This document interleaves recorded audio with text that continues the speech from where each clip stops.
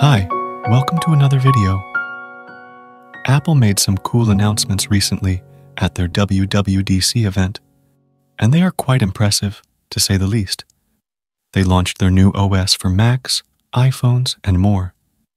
But that's not what concerns us today. What concerns us is Apple Intelligence. Yes, Apple has named their new artificial intelligence features Apple Intelligence, which is quite an Apple thing to do.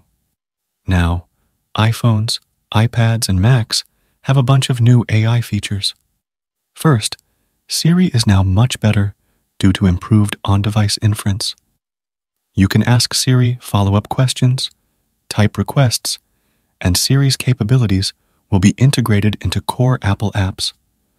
Although they haven't confirmed which model they are using, it is speculated that they are utilizing the Open ELM model they released earlier. If you know these models, you'll know that they are small and efficient, but not as good as ChatGPT. So, they have also announced their partnership with OpenAI. If you or Siri think there's something the on device LLM can't handle, you'll be prompted to get an answer from ChatGPT instead, specifically the GPT 4o model. Now, you may say, oh, so OpenAI is going to get all your data. Well, that's where their partnership comes into play. They say that OpenAI or Apple is not going to keep your data. The data will only be transmitted to the servers to generate your response, and none of the questions or answers will be stored on their servers or anywhere. Your IPs in this process will also be obfuscated, ensuring that OpenAI cannot create a profile for you based on your IP or other data. This is going to be a free service, and you won't need any accounts to use it. But, if you want, you can connect your own ChatGPT account as well. These features are not just limited to Siri. You can also use them with any app you use.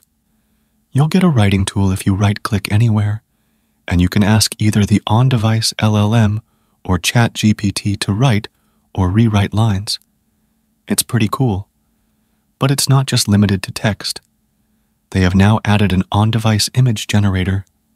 Yes, they now have an image playground app where you can generate images with text. You can use multiple styles and options to create some great AI pictures. It's really cool. They have also added a bunch of photo editing and call audio transcription features. But the one thing that I really like about all this is how easy they have made creating AI based apps on iOS, iPadOS. Everything I just told you about is now available as an API for third party developers to use. This means that creating images, generative text, and more is now just one click away for third party developers. This is something I never thought of. They have actually made AI seamless in their software and apps. This is one area where Apple is definitely ahead of Android. Think about it. If you're an app developer and you want to create a feature in your app where users can generate images with AI, previously, you'd have to implement your own API, which would go to a server. And then that AI server API would generate an image and send it back to your app. This would obviously add up costs leading to these features being paywalled by the developer because they can't afford users spamming image generations, which would cost the company a lot of money. But now, even free apps can allow you to generate images, text, and more on the device fast and efficiently without incurring additional charges. Plus, developers won't need to write a bunch of code to add these functionalities. Also, it's not just limited to this. Now, you can run custom open source or fine tuned models like Stable Diffusion, Whisper, Mistral, Llama, Falcon, Clip, and more. You can do on device model inference without any hassle. This is a really great feature that changes how we look at AI. We typically see AI models or applications as custom software, right? But this makes it so that it's an integrated thing in your OS that any app can use and take advantage of without messing around with those big model and LLM files. And it all can be done locally, making it really privacy friendly as well. It's really cool. I hope Android also adds similar APIs to their next SDK. I haven't seen many people talk about this great addition by Apple, so that's why I had to cover it.